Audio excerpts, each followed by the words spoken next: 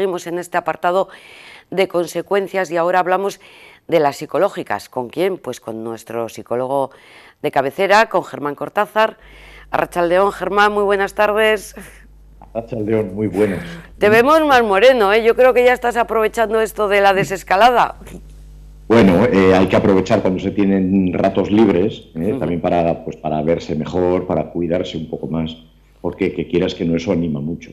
¿Eh? El tema del sol no solo anima por la vitamina D tan famosa de la que nos están hablando continuamente, de la que hemos hablado tanto, sino también por la sensación de luz, la sensación de apertura, la sensación de claridad, que es lo, lo contrario al encierro, que es lo que hemos tenido todos, hemos estado encerrados en algo que hasta físicamente lo podemos comparar con algo oscuro. Cuando vuelve la luz, incluso la física, nos vamos a sentir mucho mejor. Eso es lo que... Salir, em, es que nos, comentaban, perdóname Germán, eh, que en los países eh, con mucho sol, la gente es más alegre que en los países en los que hay eh, la noche, digamos, es mucho es más larga. ¿Eso tiene una base científica? Sí, tiene una base científica que es la de la luz y la de la presión atmosférica. A ver, en los países nórdicos, cuando hablamos pues, de Suecia, de Noruega, en esos países hay unas tasas, unos índices de depresión y de riesgo de suicidio muchísimo más elevado del que tenemos en estos países más del sur, donde tenemos más luz, donde tenemos más sol. Eso está muy influenciado por la luz y por eso en esos países están haciendo últimamente terapias de luz, se llaman. Entonces lo que hacen es les ponen a los pacientes delante de un gran foco de luz, una luz muy potente que les enfoca directamente en los ojos para que esa luz se interiorice y eso les ayuda a tener un estado de ánimo un poco mejor. Nosotros a veces no necesitamos esos focos, podemos ir a la calle y tomar el sol. ¿eh? Tomar el sol que nos dé la luz, que nos dé el aire. No sé si a mí eso me ha gustado mucho, me ha recordado más a la naranja mecánica que a, que a una terapia. ¿eh? Eh, bueno, eh, no es exactamente una terapia, sino que es una ayuda que nos va a venir bien para sentirnos un poquito mejor. Nada en sí mismo es una terapia, todo nos va a ayudar en alguna medida, entonces vamos a utilizar todo lo que tenemos en nuestras manos para sentirnos mejor. Pero eso no soluciona nada. No por tomar el sol o por salir a dar un paseo al aire libre para que nos dé la luz, nos vamos a mejorar de nada, pero sí que nos va a ayudar a encontrarnos un poquito mejor. ¿Qué es lo que queremos todos. Germán, ¿cuáles son las consecuencias? ¿Qué consecuencias va a tener psicológicas eh, este, esta crisis sanitaria? Ya no sé si es la pandemia, el confinamiento, todo, todo, el cúmulo. Y nos están ya advirtiendo de que realmente estas consecuencias son muy graves y van a ser, están ya siendo muy severas. La ONU admitía, advertía esta semana de que hay un riesgo, una alerta por un riesgo masivo de trastornos, de problemas de salud mental. ¿eh? Y ya están hablando de riesgos de situación extremadamente preocupante, hasta el punto de que se están observando un 47% más de problemas psicológicos de los que se observaban antes, lo cual es una barbaridad. Se están hablando de que los casos de depresión casi se han triplicado y los casos de ansiedad han aumentado entre un 47 y un 50%. Entonces, fíjate, estamos hablando de unas cifras enormes cuando solamente hasta ahora parece que nos advertían de las consecuencias físicas y ha estado muy bien, porque era una crisis sanitaria que tenía unas consecuencias físicas muy graves. Todavía siguen ahí, pero ahora ya tenemos que empezar a atender al aspecto psicológico, que es el que viene ahora, lo que se llama la cuarta fase, la cuarta oleada. ¿eh? la cuarta ola, que es la de la salud mental. Porque fíjate qué cifras estamos manejando. ¿eh? Estamos manejando cifras altísimas del 47, del 50 en, adultos y del 32% en adolescentes. Eso te iba a preguntar, a ver, las franjas de edad, 32% en adolescentes me, parece muchísimo. Es una barbaridad. A ver, tenemos que entender que los adolescentes les ha cambiado su vida, nos ha cambiado a todos, pero a ellos les ha cambiado sus relaciones sociales, les ha cambiado todo el contacto que tenían, todas sus, su, su gran protección de los adolescentes, que es el grupo, esos sus amigos, las relaciones sociales, las relaciones entre iguales, les, pues se les ha visto muy, muy limitada, por lo menos en, aspecto presencial. Lo han hecho por Internet, pero les faltaba lo presencial. Hasta hoy se, se describe que un 32% de los adolescentes reconocen que su salud mental ha empeorado. En los adolescentes y en los adultos hablamos entre un 47 y un 50% de consultas más de eh, ansiedad y de depresión sobre todo. Me estoy acordando que en estos encuentros que hemos mantenido semanalmente eh, nos decías, es que los niños, pues estando con ellos se van habituando a las situaciones nuevas, pero los adolescentes es una situación más problemática, efectivamente. Y aquí se ven las consecuencias. Aquí se ven las consecuencias que ya están empezando a investigarse, que ya están empezando a cuantificarse y ya las estamos viendo en, números. Ya no son solo ideas o, proyecciones de futuro, sino que ya las vamos teniendo en números. Al final, lo, que íbamos hablando, los niños, eh, los pequeños, puede que se hayan vuelto más revoltosos, que hayan dado mucha guerra, que hayan llorado, que hayan pataleado pero sus secuelas van a ser muchísimo menores que las que van a tener los adolescentes y los adultos, porque los niños al final no tienen tanta conciencia. A ver, al perdona, al principio lo que más afectó tanto a adolescentes como a adultos fue el miedo a morir. ¿Fue él? El miedo a morir. Vale. E-, era el miedo a contagiarse y por lo tanto miedo a morir, que es el, gran, el miedo más grande que tiene el ser humano porque atenta contra el instinto básico número uno, que es el instinto de supervivencia. Dentro de todos nuestros instintos, el número uno es la supervivencia. Y evidentemente un virus tan letal y tan grave como este que nos está todavía afectando, no nos afectó, nos está afectando todavía, atenta contra la supervivencia, porque hay un riesgo enorme de muerte. Eso ya va pasando un poco en nuestra mente, pues porque ya el miedo ya no es tanto a morir como ahora es al futuro a las consecuencias que esto va a traer, la incertidumbre económica, social, laboral, relacional, añadido a la pérdida de familiares, los que hayan perdido algún familiar, a las consecuencias del aislamiento, es decir, ahora ese miedo a morir ya no es tan grande, pues porque, bueno, ya solo hay que ver las cifras de, de números ya de personas ingresadas en UCI, de pacientes fallecidos, de personas que por desgracia pues han tenido este desenlace tan fatal.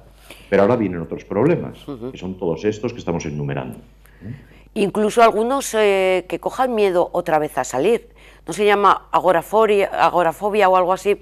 ¿El miedo a los espacios abiertos o, eh, eso, no? Eh, no, se incluye dentro de la agorafobia. la agorafobia es un miedo a alejarse de la, del ámbito en el que estamos seguros, por ejemplo, de la casa, pero es por un miedo a que tengamos una crisis interna. Lo que está ocurriendo ahora es lo que se está denominando el síndrome de la cabaña, que es, hemos estado en nuestra cabaña, en nuestra choza, en nuestro hogar, muy bien protegidos. Yo no me canso de decir que era muy duro, pero era muy fácil, porque solo había que estar en casa. Fácil era muy fácil, seguir las instrucciones, era estar en casa. Pero ahora viene lo difícil y tenemos que salir de la cabaña. Tenemos que salir porque la vida continúa, porque tenemos que empezar a hacer vida más o menos normal y ahí viene el miedo a ver si voy a ser capaz de andar por la calle sin sentir angustia, cruzándome con muchas personas que no sé si estarán infectadas y me van a contagiar o no, personas que tampoco sabemos si van bien protegidas o no, los que no llevan mascarilla por supuesto que no van bien protegidos, pero todo ese miedo, esa incertidumbre hace que mucha gente ahora no quiera salir de casa. Y eso es lo que se está denominando el síndrome de la cabaña, para el cual lo que hay que hacer es salir, empezar a salir, a poquitos, a pequeños espacios de tiempo y en zonas más o menos que nos resulten confortables, pero que empecemos a salir haciendo lo que nosotros llamamos aproximaciones sucesivas, es decir, ir haciéndolo sucesivamente y progresivamente, de forma que nuestro nivel de ansiedad no aumente mucho. Ese sería uno de... Sí, perdóname, perdona. Sí, porque si no, eso va a ir a más y al final pues eh, vamos a sentir una angustia muy grande cuando salgamos a la calle. Van a aumentar los miedos, van a aumentar las crisis de ansiedad, los ataques de ansiedad, que la ONU nos advierte de estas cifras, pero a nivel nuestro ya lo estamos empezando a ver. ¿eh? Yo esta semana en la consulta no te imaginas la cantidad de llamadas que he tenido a cuenta de personas que están realmente teniendo ataques de ansiedad por el hecho de salir y el hecho del miedo a contaminarse, a contagiarse. Eh, eso vale como una pequeña estadística y las estadísticas grandes nos las proporciona la ONU. Pues que, quiero aprovechar eso. ¿Cuál es el consejo que puedes dar eh, si alguien se nota que tiene esos ataques de ansiedad? Si tiene esos ataques de ansiedad quiere decir que su miedo ya está siendo desproporcionado. ¿eh? Recordemos que siempre un grado pequeño de miedo es adaptativo. Hay un grado de ansiedad que es bueno, pues porque nos ayuda a movernos, nos ayuda a salir de las situaciones peligrosas nos ayuda a llevar el día a día, pero un grado muy elevado es el que nos bloquea. Cuando alguien sienta que se está bloqueando en sus actividades diarias y que su actividad no es normal porque el miedo le está paralizando, es que algo va mal. Lo que va a tener que hacer es trabajar esos sentimientos negativos, identificarlos, como hemos dicho todas estas semanas, escribirlos, verbalizarlos, con, incluso consultarlos y empezar a enfrentarse al miedo. Vamos a empezar a salir a la calle, vamos a empezar a estar con personas para que veamos que realmente todo está volviendo a la normalidad de forma progresiva. Los políticos y los sanitarios, los expertos en epidemiología, nos hablan de desescalada progresiva y los sanitarios de la salud mental hablamos de aproximación sucesiva, que es poco a poco irnos enfrentando a todos esos que nos da miedo. Hay un colectivo que está viviendo esta, esta crisis eh, desde la barrera, vamos, bueno, más bien desde dentro, que es el de los sanitarios. ¿Qué consecuencias eh, psicológicas se puede tener para ellos? Eh, el mayor miedo que tenemos con ellos es a que generen lo que se llama el trastorno por estrés postraumático. Es decir, ahora están viviendo dentro del trauma, están totalmente expuestos a la situación traumática, que es el virus, la enfermedad, la muerte, el estar continuamente enfrentándose a todo eso y manejando todo eso. Pero cuando todo esto pase y bajen los niveles de adrenalina que en estos momentos están teniendo, puede que surja el trastorno por estrés postraumático. Y se habla también de más de un 50 al 60% de sanitarios que ya están empezando a tener este tipo de problemas. Pues porque ya su nivel de actividad está bajando y ahora es cuando sus emociones van a empezar a aflorar. Pues a estas personas hay que cuidarlas con muchísimo mm, mimo y que ellos mismos, eh, que en esto estoy convencido de que los sanitarios somos los peores, porque somos los que más nos cuesta pedir ayuda. Entonces, esto no es ningún síntoma de debilidad, seamos sanitarios o no, si nos estamos sintiendo mal, tenemos que pedir ayuda. Pues no somos menos ni somos más débiles, pero que nadie tenga problema en pedir ayuda si se está empezando a sentir mal. Porque, bueno, hay, mira, hay otro, otro dato que a mí me tiene muy preocupado, que es el de los suicidios. Eh, tú sabes que en España, en todo el mundo, en lo que a nosotros nos toca, que es lo que tenemos cerca, el nivel de suicidios, de índice de suicidios, es altísimo. Es decir, cada año hay más personas que se suicidan que personas fallecidas en accidente de tráfico. Pero claro, esto no se cuenta porque hay un pacto oculto en los medios de comunicación y los departamentos de salud que impide hablar de esto. ¿eh? No está escrito en ningún sitio, pero se hace. Bueno, pues durante la pandemia se ha detectado un aumento del 40% en la ideación suicida. No en los datos de suicidio, porque esos datos no se contabilizan.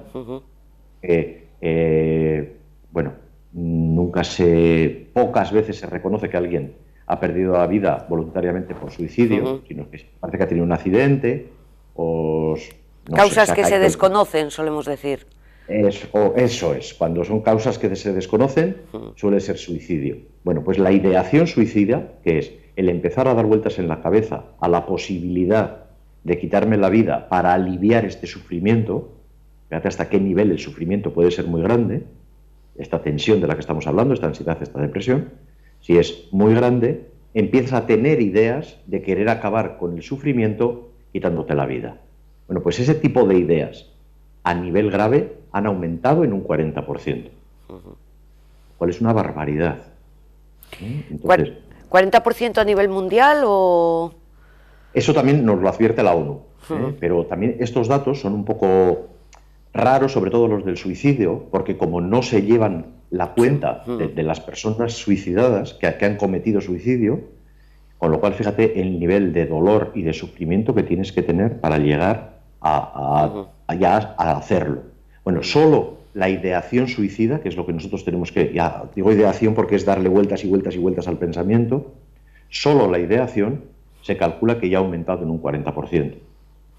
Que nadie tenga problema en reconocer que está teniendo este tipo de ideas y si las familiares o los amigos de las personas que nos han transmitido algún tipo de estas ideas, la estamos detectando, tenemos un amigo, un familiar que te ha dicho en algún momento algún tipo de, esta, de estas cosas que nos suenan muy mal Bueno, vamos a decirle que no se lo calle, que es habitual tener este tipo de ideas cuando estamos muy desesperados y que hay solución para esto, que hay otras vías para solucionar el, todo este malestar que no sean necesariamente el quitarse la vida o el hacer algún tipo de acto que luego nos podamos arrepentir. ¿eh? Hay otras maneras de solucionar todo este malestar. Sí, ojalá y todos eh, podamos ayudar si vemos a alguien cercano que, tiene esas ideas. Eh, ya para terminar, Germán, entramos en la fase 2. ¿Cuáles son las recomendaciones, los consejos que nos puedes dar? Porque vamos a ir como locos ya, bueno, ya... Bueno, eh, hay situaciones que realmente dan un poco de, miedo, voy a decir, verlas, ¿no? Sí, de vértigo. de mucho vértigo por situación también nueva. Yo, mi gran recomendación es que sigamos todas las indicaciones que nos dan, que por favor nos cuidemos y ahí vamos a incluir tres factores que son fundamentales, que son el distanciamiento social, que tengamos cuidado con la distancia a la que estamos con las personas de nuestro alrededor, que nos lavemos las manos continuamente ¿eh? en el momento en el que tengamos la sospecha de haber tocado algo o de algo que nos puede haber contaminado y que nos pongamos la mascarilla porque es una gran barrera que nos va a ayudar a frenar el contagio masivo otra vez. Eh, y ya sé que eres un gran defensor del uso de la mascarilla y ante las respuestas que te puedan dar personas como yo que digan, ojo, es que la mascarilla me molesta un montón, es que... Ya, y yo te contesto que a mí también. Eh, claro, a todos nos molesta la mascarilla. Y hace calor. Y, hace se respira mal. Entonces hay que irse acostumbrando poco a poco y hay que pensar que es un acto de solidaridad. Mm, con salir a aplaudir a las 8 mm, no estamos haciendo nada. No estábamos haciendo nada. Eso es. Hacer es hacer. Y hacer es ponerse la mascarilla, lavarse las manos, mantener la distancia de seguridad y luego si queremos aplaudimos. Pero no vale estar aplaudiendo y diciendo que todos somos muy solidarios y luego no hacer actos de solidaridad reales que son cuidarnos a nosotros y cuidar a los demás. Entonces, vamos a ser cívicos, vamos a ser responsables y vamos a pensar que si te molesta la mascarilla, pues te la quitas de vez en cuando, respiras y ya está, pero te aguantas. es que no queda otra. ¿eh? Aprendida la lección, Germán. Muchísimas gracias por toda esta información. A ver si conseguimos eh, parar esos tantos por cientos de, personas afectadas. ¿Sí querías comentar? Sí. Quiero comentar de verdad que esto no se ha mm. acabado. Eso ¿vale? es. Todos tenemos una sensación, yo mismo la tengo a veces, ¿eh? yo, no, yo soy como cualquiera, evidentemente. Entonces a mí también muchas veces, eh, aunque hablemos de esto, luego tenemos sensaciones propias. Y yo a veces se me olvida, me da la sensación de que esto se ha acabado. Voy a la calle, veo mucha gente eh, veo que se pueden hacer muchas cosas, igual esto ya se ha acabado. Esto no se ha acabado. Entonces tenemos que seguir protegiéndonos a nosotros mismos y protegiendo a los demás. Y si yo te protejo a ti y tú me proteges a mí, estamos todos protegidos y, nos irá mejor. Y es bien fácil llevarlo a cabo, vale, que siempre me convences, yo no sé cómo lo haces. Será porque eres psicólogo. Bueno, o porque razonando las cosas con calma se entienden mejor. Vale. O desde verdad, esto no se ha acabado. A ver si le das algún consejo a los políticos, que están cada uno con lo suyo y vamos. Yo hablaba de la crispación política que quieren trasladarla a, los ciudadanos, que no, que no, que no vamos a entrar en esos, de, eh, eh, vamos, en seguirles el juego así. Mm. Hay otro factor que está inquietando mucho, que se me olvidaba antes cuando hemos dicho el de la pérdida de seres queridos, la incertidumbre, es la desinformación. ¿Vale? La desinformación causa muchísima ansiedad y causa muchísimo malestar. Y las noticias contradictorias, esto de que a las 6 de la tarde nos digan que algo sí se puede y a las 8 no se puede y a las 10 no sé si se puede o no se puede, genera mucha inquietud. Entonces yo también creo que los políticos, los medios de comunicación, los que estamos un poco, mm, pues bueno, expuestos a otras personas, ¿no? que, no hacemos ningún mérito, lo hemos decidido nosotros. ¿eh? Aquí no hacemos nada del otro mundo. Vamos a transmitir un poco de seguridad y de una información poco confusa, porque eso genera mucho, mucha inquietud en, las personas. No saber qué hacer, no saber si esto es bueno, si no es bueno. Eh, no sabíamos qué hacer. Es verdad que esto lo vamos estudiando poco a poco, Esto es nuevo y según se van estudiando las cosas, se van tomando decisiones nuevas, pero que sean decisiones claras, concisas y seguras. Y eso va a generar en todo lo psicológico, que es lo desde que aquí nos toca, y es de lo que yo sé un poco, pues vamos a transmitir esa sensación de tranquilidad transmitiendo seguridad. Tranquilidad, eso, seguridad y tranquilidad. Un abrazo muy fuerte, cuídate mucho, que tengas un buen fin de semana, Germán. Vosotros también, cuidaros mucho.